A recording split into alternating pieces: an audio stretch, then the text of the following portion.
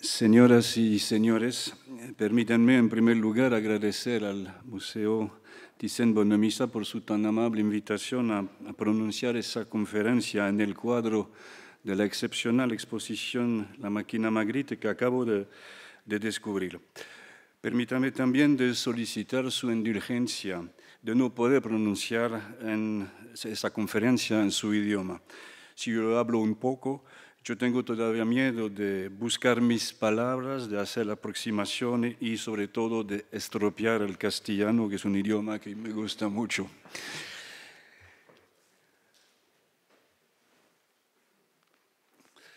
La découverte progressive des photographies de René Magritte, en ses propres archives tout d'abord, puis au gré des successions, des donations, des ventes et aussi de celles de ses amis, permettent aujourd'hui d'interroger le rapport que le peintre aura entretenu depuis 1915 à peu près avec l'image mécanique, celle de la photographie argentique, dite aussi photographie analogique.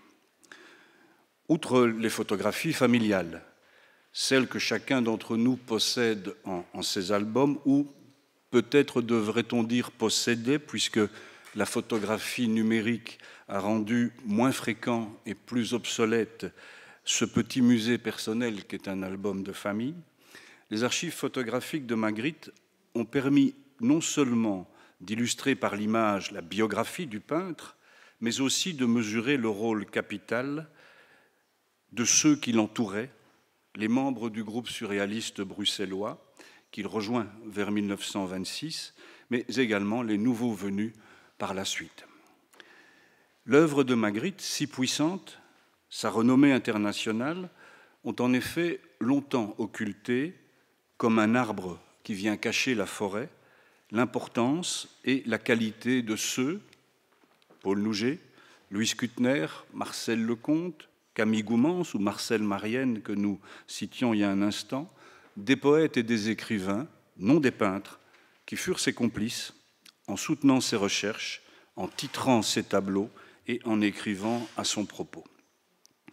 Cette analyse devrait d'ailleurs s'étendre au cinéma, au cinématographe, comme disait René Magritte, auquel il aura recours dès 1931 dans un film qui est malheureusement euh, perdu, et plus intensément à partir des années 50, lorsque le peintre fait l'acquisition d'une petite caméra 8 mm en mettant en scène ses complices au départ de petits scénarios qu'il rédige. Une première évaluation des archives photographiques de René Magritte est survenue vers 1976, près de dix ans après la mort du peintre, avec l'exposition et le livre La fidélité des images, titre qu'a proposé son ami Louis Kutner, en opposition au tableau La trahison des images, le célèbre Ceci n'est pas une pipe, Skutner à qui l'on a demandé alors de titrer certaines photographies de Magritte, comme il l'a fait pour de nombreux tableaux de son ami.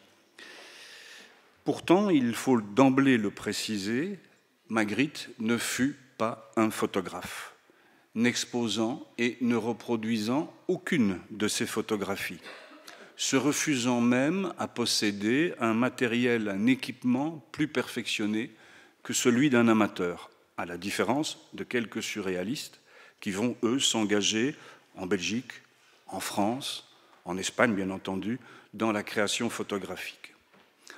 En cette attitude, en cela, Magritte reste aussi fidèle à sa philosophie, qui a toujours été de, se refuser à quelque fascination pour la technique, qu'elle soit picturale ou qu'elle soit photographique, à la démonstration du talent, du savoir-faire, pour privilégier l'efficacité de ces images, les moyens d'un peintre, du peintre, n'étant pour lui qu'une façon de pénétrer, je le cite, le mystère des choses et, je le cite également, de rendre la pensée visible. Afin d'envisager l'étude des photographies de Magritte, ou bien de celles où il figure, j'ai proposé dans le livre et l'exposition euh, que j'avais réalisé d'opérer une typologie, une thématique parmi les 400, 500 photographies disponibles dans des collections publiques ou dans des collections privées, afin d'envisager les divers usages de l'image photographique chez le peintre. Une première catégorie de ces photographies serait celle des photographies familiales que nous évoquions il y a un instant. Son père, Léopold Magritte, sa mère, Regina Bertinchamp, au moment de leur mariage, Louis tailleur, coupeur d'habits, elle modiste, lui tentant de euh, se lancer dans dans diverses aventures industrielles, dans laquelle il réussira avant euh, de faire faillite. Elle, déjà retirée, peut-être déjà neurasthénique, que nous voyons ici en 1899 avec son fils nouveau-né sur les genoux de, sa mère.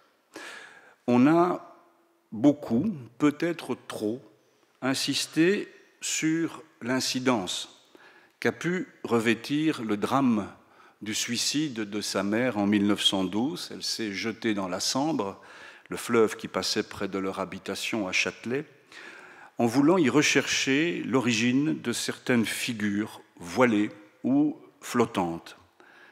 Magritte n'a fait que très peu d'allusions au suicide de sa mère. Sa femme Georgette n'a appris ce suicide que longtemps après leur mariage. Ce sont certains auteurs, certains amis qui ont insisté sur ce fait. Mais nous verrons plus loin qu'il y a peut-être d'autres origines dans d'autres sources où ces figures voilées viennent trouver leur inspiration.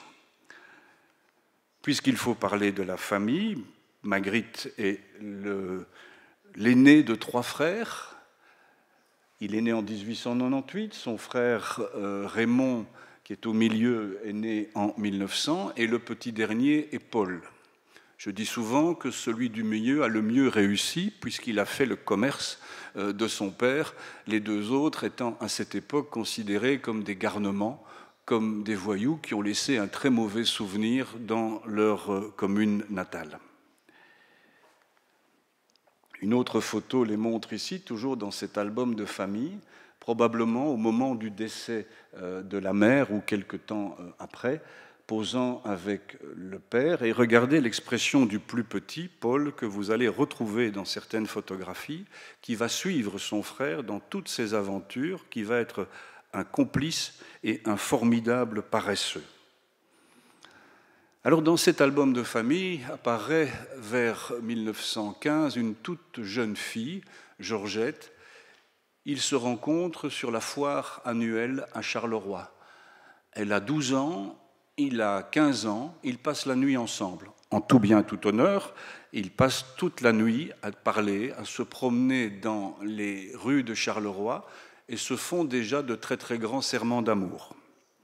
Seulement René part à Bruxelles, elle reste à Charleroi, ils se perdent de vue. La guerre est là aussi.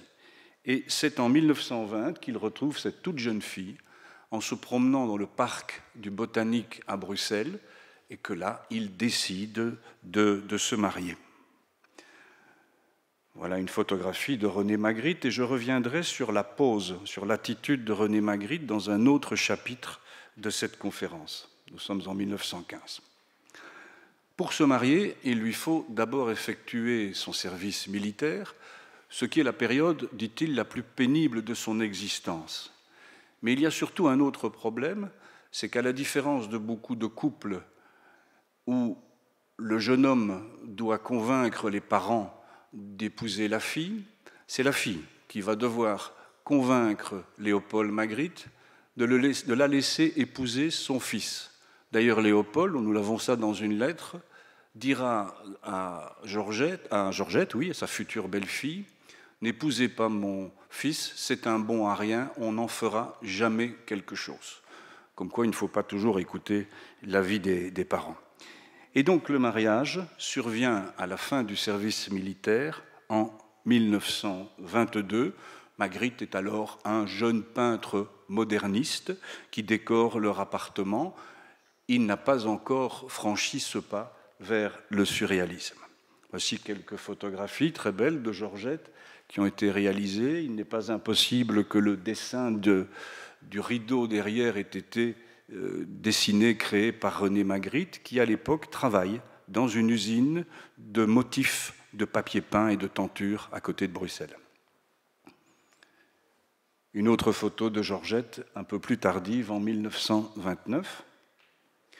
Le couple n'aura jamais d'enfants, mais il aura des chiens. Toujours la même race, des loulous de Poméranie.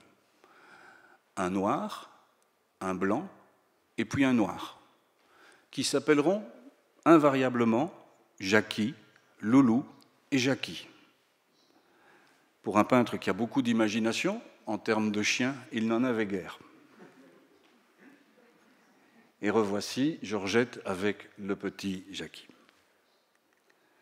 En 1927, après sa première exposition personnelle, je reviendrai dans le deuxième chapitre sur les circonstances, il va s'installer dans la banlieue parisienne, au Perreux-sur-Marne. Et son frère, qui est pianiste de bar et dit-on dans les bordels aussi, va le rejoindre dans un appartement à côté. Et vous les voyez posés ici de façon très élégante devant certains tableaux, avec la pochette, mais vous observerez surtout les magnifiques pantoufles qui montre ce côté que j'appellerais très belge, très relax, aux poses avec des pantoufles fourrées très très confortables. Au Perreux-sur-Marne, où il va tenter de convaincre les milieux surréalistes parisiens qui n'ont pas encore complètement reconnu la peinture figurative, il va tenter d'imposer la vision de sa peinture, mais c'est surtout l'endroit où il va peindre un tiers de toute sa production. Donc c'est une époque excessivement prolixe plus de 450 tableaux et on ne compte pas les gouaches et les dessins. Passé cette euh, première page, ces premières pages de l'album de famille, il y a un deuxième chapitre que j'appellerais un air de famille. Il y a la famille que vous donne la naissance et pour laquelle vous n'êtes pas responsable ni en bien ni en mal, mais il y a surtout celle qu'on se compose, pour Magritte, c'est le groupe surréaliste de Bruxelles, actif dès 1924, la même année que la parution des manifestes du surréalisme d'André Breton, que Magritte va rejoindre en 1926 après diverses explorations artistiques qui vont le voir passer du cubisme au futurisme, à une forme presque d'abstraction même, avant de découvrir par une photographie l'œuvre de Chirico, le chant d'amour, par une petite photographie noir et blanc, qui, comme il va le reconnaître lui-même, va l'émouvoir aux larmes. Rare confidence d'un peintre qui n'aime pas parler de ses émotions. Ce petit groupe surréaliste se forme à Bruxelles en 1924 avec Paul Nouget, chimiste de formation, avec Lecomte, surveillant dans un Athénée, et Camille Goumance, futur galeriste que nous reverrons. Les trois hommes n'ont rien publié, se tiennent à l'écart des milieux surréalistes, ils édictent des tracts, qui sont des tracts colorés, qu'ils envoient par la poste, sous forme d'une revue peut-être, c'est très difficile à, cerner, c'est un examen de bibliothécaire presque, et ce petit groupe marque déjà sa distance en 1924 avec le groupe surréaliste de euh, breton. Paul Nouget va avoir une importance capitale dans la vie de René Magritte. Je crois que René Magritte n'aurait pas été le même René Magritte ou aussi vite René Magritte s'il n'y avait pas eu Paul Nouget qui tout d'abord va l'attirer dans le groupe et lui faire quitter ses idées de peintre moderniste, mais surtout lui inculquer que l'art est une forme de combat, que l'art doit servir à changer le monde et non pas à être une simple représentation. Tous les textes que Paul Nouget écrira sur René Magritte jusqu'en 1952 sont à la fois des explications, mais aussi des mises en garde, parfois même pour le peintre, de rester sur cette voie qui est celle de la recherche. L'autre personnage très important à l'époque, un peu moins connu, très beau poète, Camille Goumance, qui tentera d'imposer l'œuvre de René Magritte à Paris. Il sera le premier marchand de René Magritte à Paris. Et puisque je suis ici en Espagne, c'est lui qui organisera en 1930 l'exposition, une des premières expositions de Dali dans la capitale, avec aussi une exposition sur les papiers collés euh, de Max Ernst qui était remarquable, qui était préfacée par Louis Aragon. Goumans va rejoindre Magritte au Perreux-sur-Marne et va tenter, dans son aventure de galerie, d'amener à un public une certaine reconnaissance. Malheureusement, ils seront rattrapés par la crise euh, économique de 1929, dont les vagues successives vont toucher l'Europe à partir des années 30. La galerie s'arrêtera, René Magritte devra rentrer. Mais voici le groupe qui pose dans un studio en 1934, après le retour de Magritte à Bruxelles. Photographie assez étonnante parce que ce n'est pas une pose traditionnelle. C'est une réponse à André Breton qui parle des camarades surréalistes, alors que les surréalistes belges n'aimaient pas utiliser le mot surréaliste. Alors ils ont décidé de faire une espèce de petit clin d'œil à Breton. Ils sont allés poser un peu comme posent les gens de la mafia, avec un beau costume, avec la pochette, et les dames, un peu comme des, souteneurs, euh, assis euh, devant eux. Photographie totalement composée, mais qui nous permet de voir des gens aussi importants que Mezens. Lui rachètera lors de la faillite d'une grande galerie à Bruxelles, la première exposition de Magritte s'y est donnée en 1927, lui rachètera 250 œuvres en salle de ventre et bâtira sa fortune en 1932 sur l'œuvre de Magritte. René Magritte, bien entendu, Louis Kuttner, auquel je me ferai souvent référence, l'ami de toujours, le collectionneur. S'il n'y avait pas eu Louis Kuttner, il n'y aurait pas de musée Magritte à Bruxelles aujourd'hui, puisqu'il y avait 70 œuvres de Magritte dans sa maison, plus des gouaches qu'il avait collectées au fur et à mesure du temps. Le musicien André Souris, Paul Nouget, bien entendu, l'épouse de Paul Nouget, Georgette Magritte et l'épouse de Louis Kuttner, Irène Amoir. Ce groupe est plutôt une réunion d'amis, passe des vacances ensemble, part en excursion.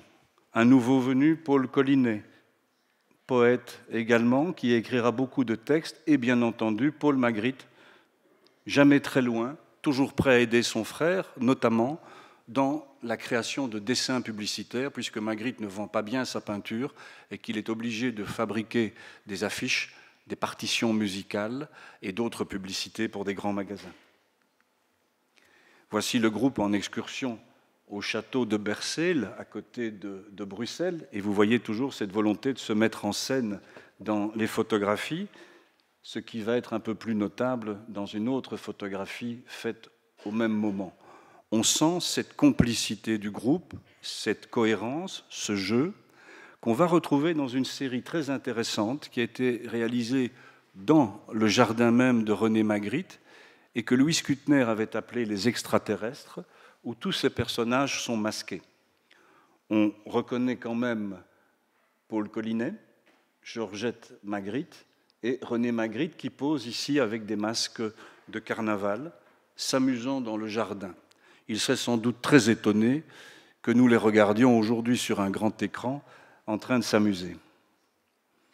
Revoici les mêmes, posant toujours dans diverses attitudes, une après-midi de réunion. Les surréalistes belges n'aimaient pas trop se réunir au café, à la différence des surréalistes français, mais plutôt chez René Magritte ou chez Louis Kuttner, devant un morceau de tarte et une tasse de café. Voilà encore quelques images des extraterrestres, cette série ainsi nommée par Louis Kuttner diverses poses, qui montrent aussi une façon, au fond, de ne pas se prendre au sérieux, de refuser la pose conventionnelle de l'artiste et d'inventer, car le jeu est aussi, pour les surréalistes belges, une source de création autant qu'un ciment pour le groupe.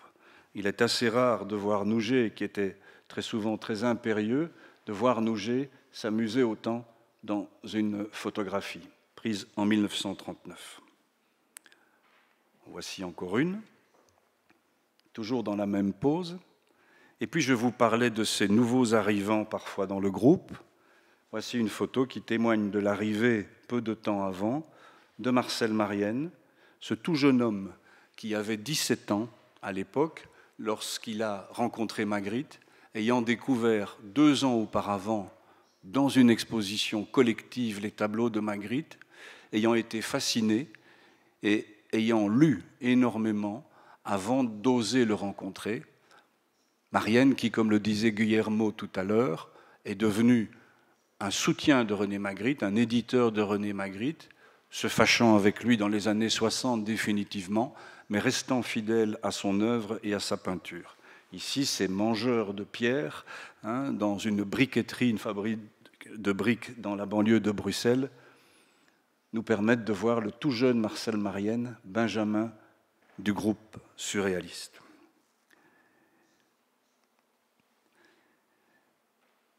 Dans les divers domiciles qu'il a occupés, à Charleroi, à Paris, à Bruxelles, jamais Magritte n'aura un atelier et jamais il n'envisagera d'en construire un. Les plans de sa dernière maison ne comportent pas d'atelier alors qu'il est en train de concevoir le dessin d'une maison qu'il abandonnera. Il préférait peindre auprès d'une fenêtre, dans le salon. Ce fait n'est pas un fait anecdotique.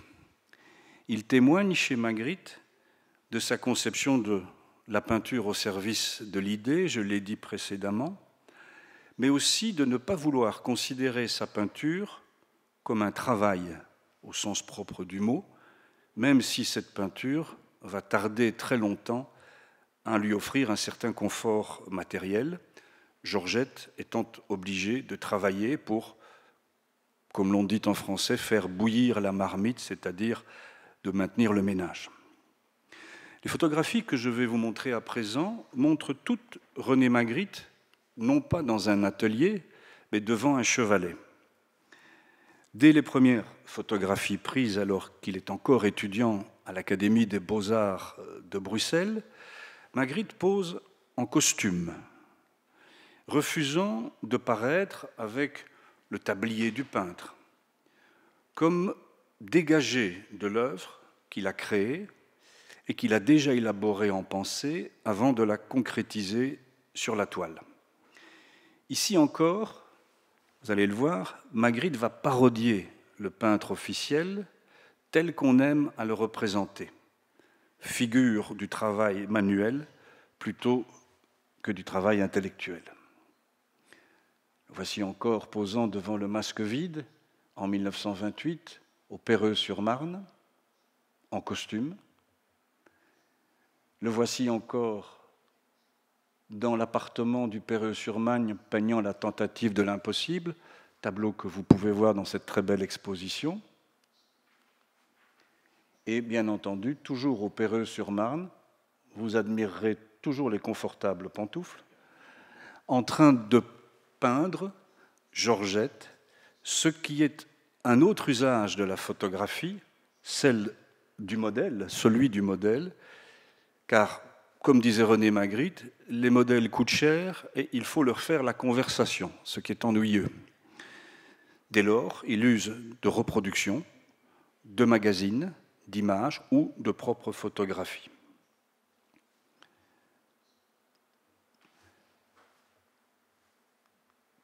Très rare photographie, datée avec précision. C'est un gros problème avec les photographies de Magritte, c'est que non seulement nous avons des approximations dans les dates, mais surtout nous ne savons pas toujours qui les a prises. Il est parfois sur une photographie et n'a pas été l'opérateur, ce qui est souvent sujet à discussion.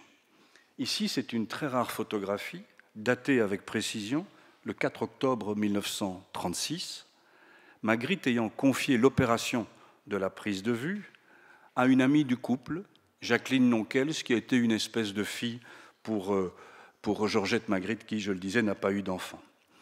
Il y a ici un travail très intéressant par rapport à l'usage de la photographie. C'est qu'il y a une véritable tentative de, de mise en abîme d'une œuvre. Il y a dans cette photographie qui a été réalisée sans trucage, sans manipulation, une façon très différente de concevoir la photographie et de permettre, avec un dispositif d'appareil photo très élémentaire, un effet démultipliant, le peintre en train de peindre, le peintre en train de peindre. Une photographie qui aurait pu rester une photographie documentaire. Mais l'on voit ici que René Magritte, par ce choix qu'il a posé, s'avance dans l'image, mais aussi dans les possibilités du tableau. Cette photographie-ci dépasse donc de très loin la notion du simple document pour prétendre à celle d'une œuvre d'art autonome. Deux photographies pourtant montrent le peintre en tablier, ce qui est un fait assez rare, mais ce n'est pas là le problème de ces photographies.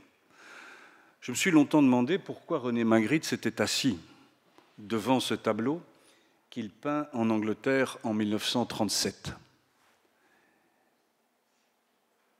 Et je crois qu'il aurait pu très bien se tenir debout à côté du tableau. Mais il y a chez lui véritablement, et nous allons le voir dans certaines autres photographies, une volonté d'entrer dans l'image. Nous sommes dans les images. Son image photographiée n'est pas lui, elle peut donc participer de l'image peinte. Et ceci, nous le voyons très bien dans cette autre photographie qui figure, je crois, dans l'exposition, c'est que le peintre tourne le dos participe du tableau. Une autre photographie dont je n'ai pas obtenu la reproduction le montre en train d'agripper un des éléments dans son tableau, de le prendre par la main, comme s'il n'y avait pas de distance entre l'œuvre photographiée et l'œuvre peinte, entre la personne physique et son tableau. Entrer dans l'espace scénique et devenir une image dans l'image. Dès lors, on peut se poser la question de savoir qui de l'œuf ou la poule, comme dit le proverbe, a commencé. Est-ce que cette photographie-ci, non datée, a donné lieu à ce tableau? Ou est-ce que le tableau était déjà réalisé quand Magritte a fait la photographie? Nous restons dans certaines images totalement dépourvues d'informations et limitées à des hypothèses. Un autre exemple d'un travail photographique préalable, La mort des fantômes, faite au Péreux-sur-Marne avec la toute jeune Jacqueline Dankels, dont la figure centrale va servir de motif à un tableau de la même époque, L'apparition. Ici, la photographie comme modèle. Autre exemple d'une citation directe, son ami Louis Kutner, avec son superbe costume à carreaux, posant pour la gravitation universelle, un très très beau tableau de 1943. Et puis, bien entendu, pour l'activité publicitaire, Georgette a posé à de nombreuses reprises. Ceci est une variante d'un projet publicitaire qu'il avait réalisé pour une marque de cigarettes qui lui a été refusé. Dans le dessin qu'il avait produit, Georgette devait tenir un paquet de cigarettes et une cigarette allumée et il s'est contenté de garder cette image que Skutner a nommée la reine Sémiramis et qui renvoie au tableau de 1947. Il y en a un très beau avec le verre d'eau et la feuille dans l'exposition actuelle. L'œuvre de René Magritte est faite de poursuites, de prolongements. Les thèmes s'y additionnent, ils s'enrichissent, au gré de recherche, les variantes de ces tableaux et de ces gouaches étant le plus souvent des additions plutôt que des doubles ou des déclinaisons par d'autres techniques pour les besoins, par exemple, du commerce. Une grande part des photographies de Magritte participent de la même démarche. Il implique ses intimes, ses proches, dans la reproduction des photographies de ces tableaux, nous l'avons vu, et il les insère parfois dans ceux-ci en créant une nouvelle image. Magritte amène donc dans certaines photographies ce que j'ai appelé une photographie augmentée, des tableaux photographiques, qui sont lisses comme la matière de ses propres peintures. Bruxelles a été, en octobre 1928, le siège de la première grande exposition de photographie moderne en Europe. Les historiens de la photographie, ceux qui ne sont pas belges, soulignent bien entendu toujours l'exposition Film und Photo de Stuttgart en 1929, et puis l'autre exposition Photographie de Gegenwart du Folkwang Museum de Essen en 1929, mais en octobre 1928, dans la galerie L'Époque, que dirigeait Mezens, se tient une exposition de 124 photographies, parmi lesquelles des œuvres de Man de Krull, de Lothar, de Hadjé. Bien que Magritte vivait alors à Paris, il est probable qu'il l'ait visité, il faisait souvent des allers-retours. L'exposition se tient au même moment que la mort de son père, donc il y est sans doute venu. Et le couturier Gustave Vanek, Paul Gustave Vanek, qui était l'initiateur de la première exposition personnelle de Magritte, était le propriétaire de cette galerie où les photographies vont être produites. Autre exemple de l'intérêt que Magritte portait à la photographie, la seule œuvre qu'il ait possédée d'un artiste différent de lui, lui qui n'aimait pas la peinture des autres et qui n'aimait pas citer ses influences, fut une photographie de Man un visage aux lèvres peintes, un visage en plâtre aux lèvres peintes. Enfin, dans ces exemples photographiques, il m'est impossible de passer sous silence une série de 19 photographies qui ont été longtemps inconnues avant que Marcel Marienne ne les ressorte, photographies de Paul Nouget, que Nouget avait appelé la subversion des images. Nous avons la trahison des images, nous avons la fidélité des images, et maintenant nous avons cette subversion des images. Photographie d'amateurs réalisée entre décembre 1929, début 1930 par Paul Nouget, qui les a ensuite mises dans un tiroir et les a totalement oubliées. Leur proximité avec l'œuvre des Magritte est étonnante, non seulement parce que Magritte est l'un des personnages qui apparaissent avec son épouse sur les photos, mais aussi parce que le thème de ces photographies, ces 19 photographies, c'est l'objet. Voilà par exemple ici la jongleuse. La femme de Paul Nouget, Marthe Beauvoisin, comme endormie, tenant entre ses mains écartées un chapelet de boules comme le ferait un jongleur avec des balles. Marthe Beauvoisin se coupant les cils et je ne peux évidemment m'empêcher de penser, plus encore ici en Espagne, à ce magnifique film Le chien andalou, où nous avons cette scène initiale de l'œil qui est tranché. On sait que à la fois Nouget et à la fois Magritte ont vu ce film qui les a enthousiasmés. Autre image de cette série, femme effrayée par une ficelle. Toujours prise dans un décor quotidien. Et ici, la naissance de l'objet, un ensemble de personnages penchés vers le mur, regardant un tableau qui n'existe pas, René Magritte étant l'un des modèles de cette photographie. Georgette dormant sur une cheminée, les profondeurs du sommeil, le même décor, la même pièce. Et René Magritte trinquant sans verre avec un autre personnage. Disparition de l'objet, importance de l'objet, mais surtout, pour le spectateur, recomposition mentale de l'objet, comme René Magritte le fait à cette époque dans ses tableaux mots, où l'image est remplacée par un mot et inversement. Marcel Lecomte, le poète qui lui a révélé l'œuvre de Chirico, en train d'écrire les yeux fermés et sans stylo. Et Nouget signe cette série en mettant très discrètement son visage dans le désordre d'un grenier dans cette dernière image.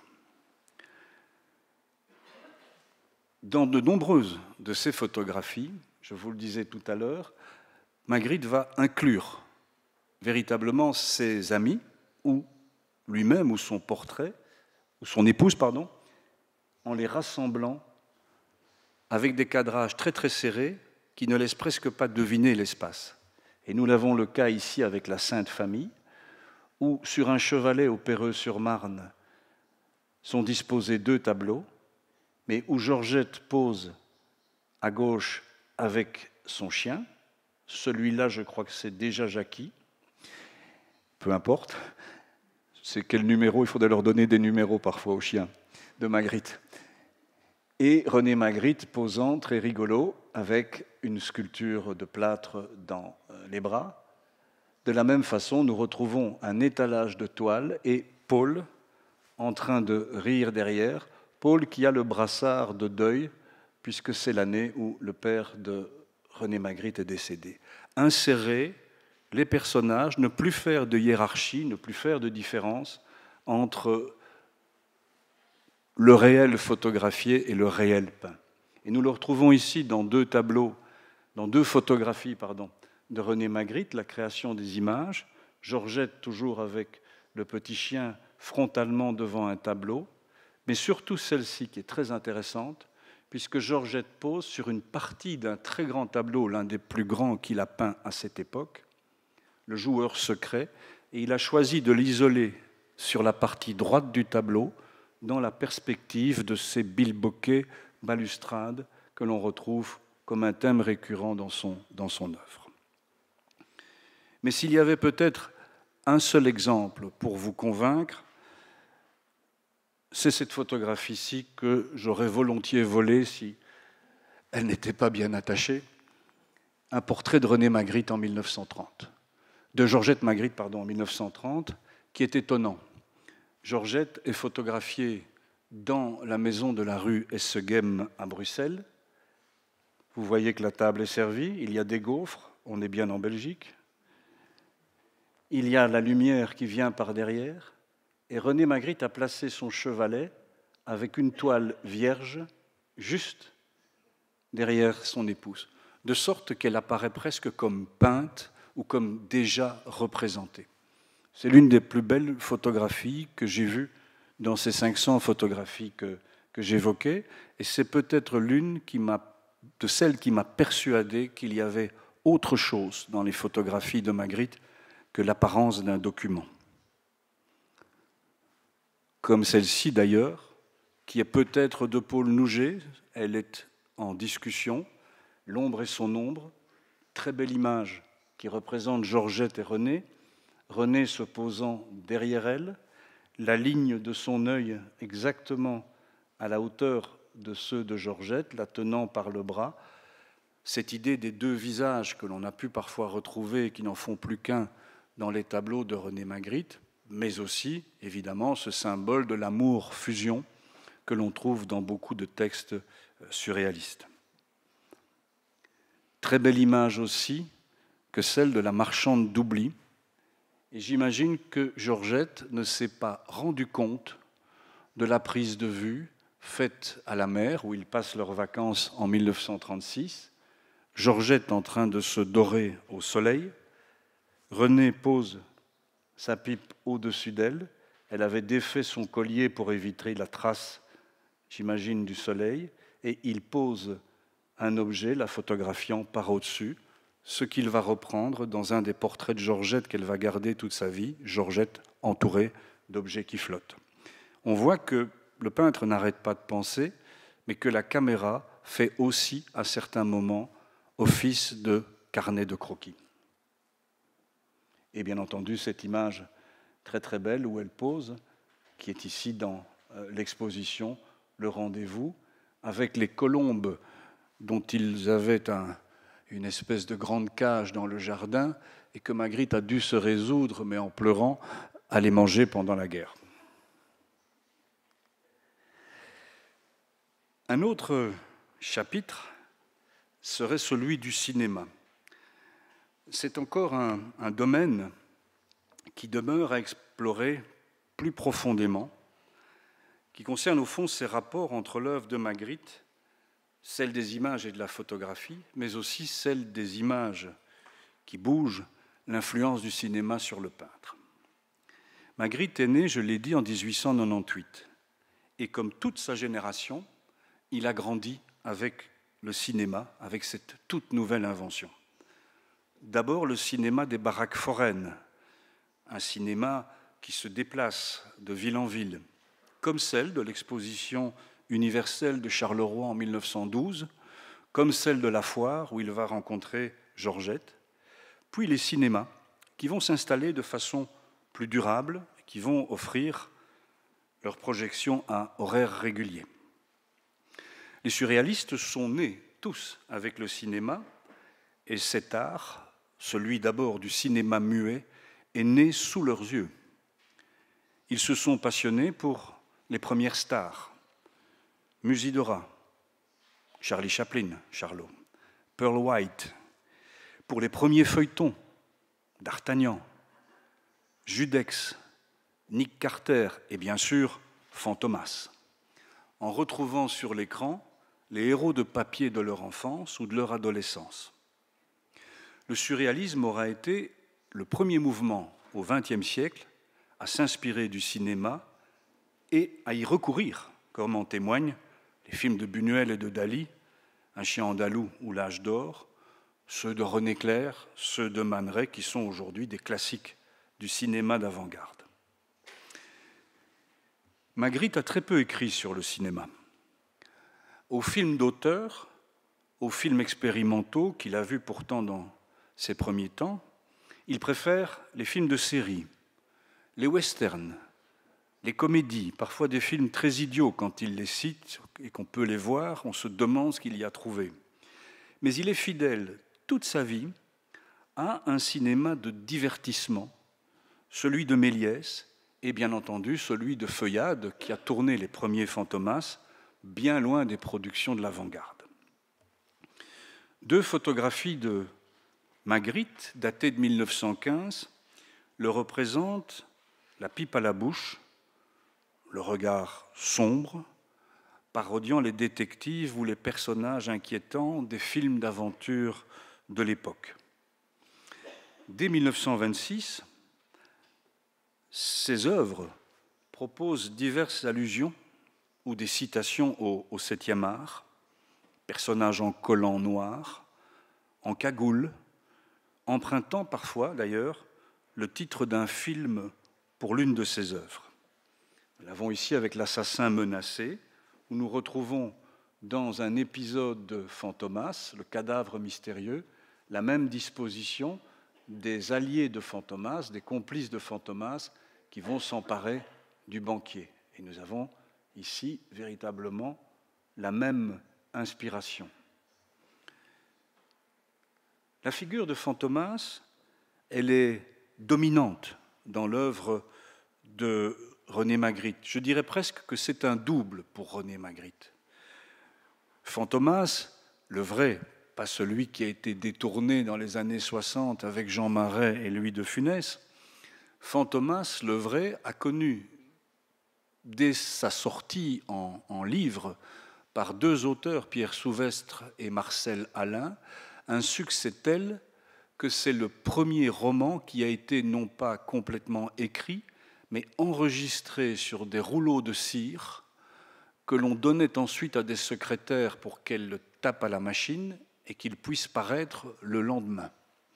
Et alors que la série Fantomas n'était pas encore terminée, Feuillade, qui est un des premiers grands réalisateurs français, en réalisait des feuilletons cinématographiques qui sont absolument merveilleux, tournés dans des décors naturels dans les rues de Paris de cette époque, qui ont fasciné René Magritte. René Magritte a même inventé un épisode qui pourrait être un nouvel épisode ou un scénario d'un film de Fantomas, Fantomas endormi, s'échappant de son ennemi, le commissaire Juve, en s'éveillant du rêve du policier. C'est un texte assez, assez étrange. Fantomas, c'est ce double un peu maléfique qu'adorent les surréalistes, puisqu'il se, sert de, il se sort de toutes les situations et qu'il y a aussi chez eux cet attrait pour le roman populaire. Alors nous voyons Magritte à Londres en 1938, posée avec un tableau qui malheureusement a disparu. Il a été détruit dans les bombardements de Londres en 1940. Mais Magritte utilise la pose qui est celle qu'on va retrouver sur la première couverture des aventures de Fantomas, qui paraît en 1911. Et il revient sur cette couverture en la copiant littéralement de la couverture du livre original, Le Retour de Flamme, en 1943, mais il remplace le poignard que tient Fantomas par une rose. Et je me suis toujours demandé, simple hypothèse, s'il n'y avait pas là une allusion, le retour de flamme, euh, ce qui veut dire en français quelque chose qui vous revient à la figure, s'il n'y avait pas là une allusion au début du déclin des armées nazies, puisque nous sommes juste après Stalingrad et juste après l'invasion des Alliés en Afrique du Nord. Peut-être est-ce l'explication de ce tableau, du titre en tout cas de ce tableau. Mais vous pouvez voir que dans certaines photographies de René Magritte, je me suis amusé à revoir tous les fantomas. Il y a beaucoup d'épisodes, mais c'est très intéressant. J'ai retrouvé par exemple des scènes qui sont très analogues. Dans ce tableau qui montre René Magritte, Camille Goumans et Georgette, dans cette photographie, pardon, nous retrouvons à peu près la même attitude que dans ce film Fantomas, où le commissaire Juve et euh, Fandor, qui est le journaliste, vont escalader une maison où ils soupçonnent que se cache Fantomas. D'autres exemples au hasard de cette influence potentielle du cinéma sur René Magritte, ce sont les premiers films de Méliès, qui est si les frères Lumière ont créé le cinéma, on peut dire que Méliès l'a inventé avec des récits, avec des films de longueurs diverses. Et dans certains de ces films, il y a ces têtes qui flottent dans l'air et qu'on retrouve dans certains tableaux de René Magritte, peut-être comme une permanence du souvenir de ces films. J'ai parlé tout à l'heure des figures voilées ou des figures flottantes que l'on retrouve dans certains tableaux. Et j'aimais l'hypothèse, c'est une simple hypothèse, que d'autres sources ont pu être aussi déterminantes.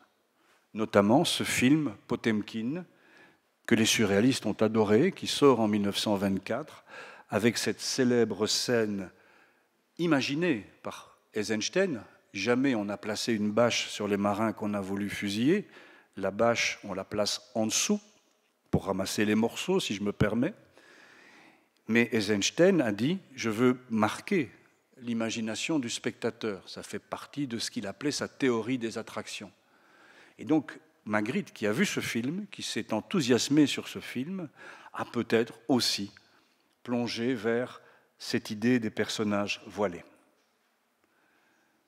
De même, dans ces petits films qu'il réalise ou qu'il monte ou qu'il scénarise, il y a des parodies la parodie que fait Charlie Chaplin dans le magnifique film Le Dictateur se retrouve dans un Magritte gesticulant, dans une petite image ici d'un film qui est un film une petite séquence de film, mais où il joue de la parodie.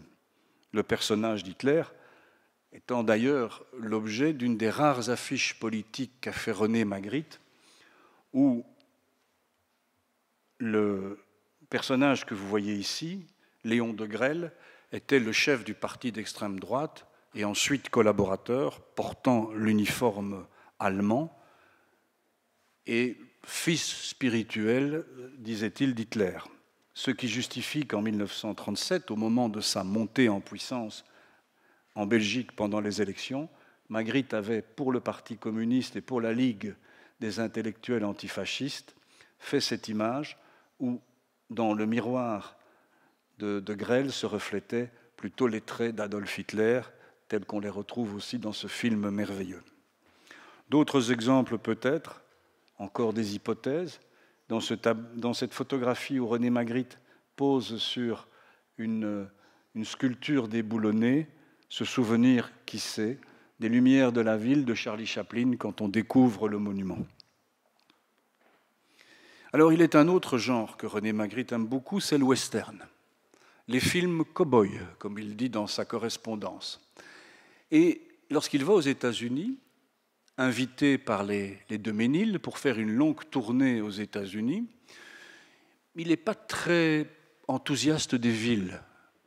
il dit au fond que Houston et New York, ça ressemble à la rue Neuve à Bruxelles, mais en plus grand. Ce qui est quand même une comparaison assez étonnante si on connaît la rue Neuve. Mais il se désole et il écrit à Skutner qu'il ne voit pas de cow-boys. Pour lui, l'Amérique, c'est le pays des cow-boys. Alors il a appris par quelqu'un que John Wayne aime bien ses peintures. Je n'ai jamais su si c'était vrai ou non. Je n'ai jamais trouvé la preuve que John Wayne a pu posséder un tableau de Magritte. Peut-être en a-t-il vu chez des riches collectionneurs, mais il n'y a pas de preuve de ce goût de John Wayne pour l'œuvre de Magritte. Et pourtant, alors qu'on lui présente des banquiers, des milliardaires, des collectionneurs, Magritte veut voir John Wayne. Il ne verra malheureusement jamais John Wayne, mais il reviendra avec un très beau chapeau texan que lui offriront les deux Méniles. Je voudrais à présent passer au dernier chapitre de cette euh, organisation thématique dans les photographies de René Magritte, que j'ai appelé le faux miroir, qui est le titre d'un tableau de René Magritte lui-même, celui d'un œil où l'on voit le ciel au travers, ou la ressemblance.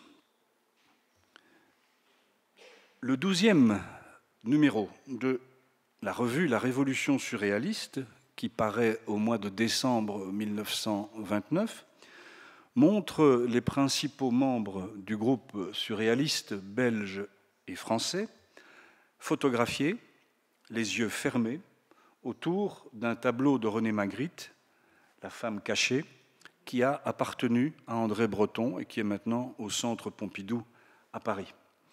Vous retrouvez dans cette photographie sans ses lunettes Paul Nouget.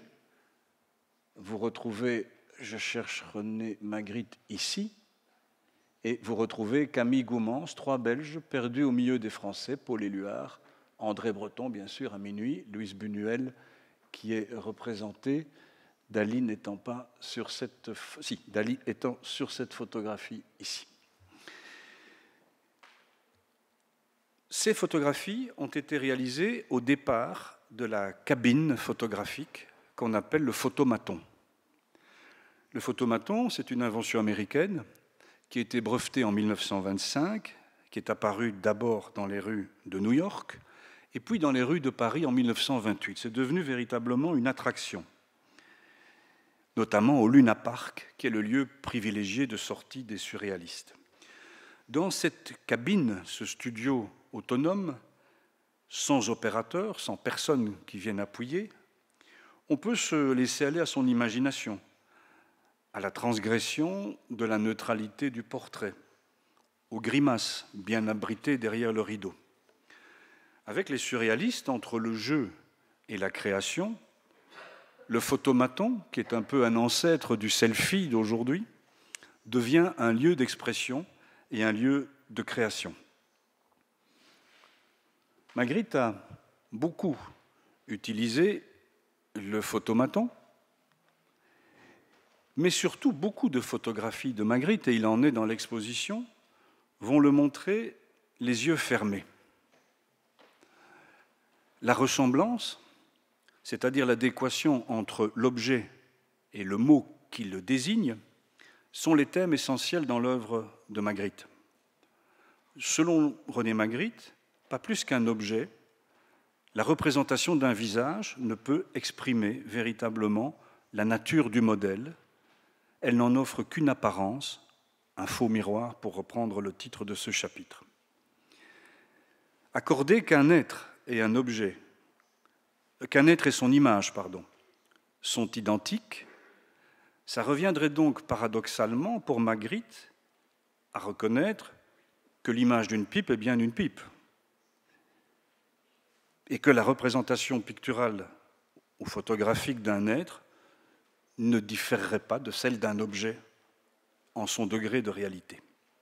C'est donc là sans doute l'origine d'un thème qui est récurrent chez René Magritte, celui de la non-représentation, le modèle qui refuse aux spectateurs d'offrir l'ensemble de ses traits en se détournant de sa propre image, soit par la grimace, soit en cachant ses traits, en déniant à la photographie son rôle premier, celui de ressembler.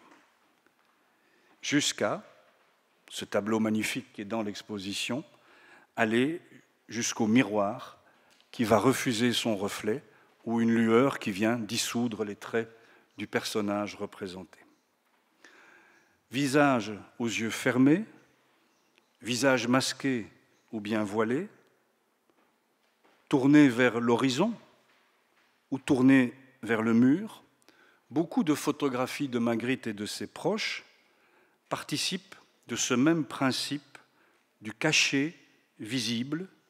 Les choses qui nous étant masquées ne sont pas nécessairement invisibles.